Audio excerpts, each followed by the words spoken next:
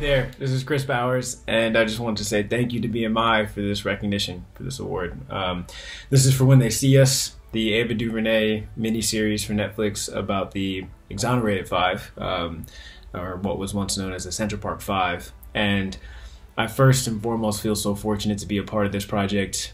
Um, I mean, as a black man, seeing this this series was um, more impactful than I think I can really express in words. But um, I really just am so fortunate and so glad to be a part of telling these men's stories and helping them to feel uh, a support and love and honor that they haven't felt their entire lives. Um, and it can't erase what happened to them, but at the same time, um, it warms my heart to see how many people not only are looking at uh, what happened to these men, but now what's happening to anyone else like them. There's so many stories that um, are not too dissimilar for what from what happened to them, and I think at a time right now, it's so inspirational to see how many people are waking up to that fact, and they're waking up to uh, all of the systemic injustices and and uh, racism in this country. And so, thank you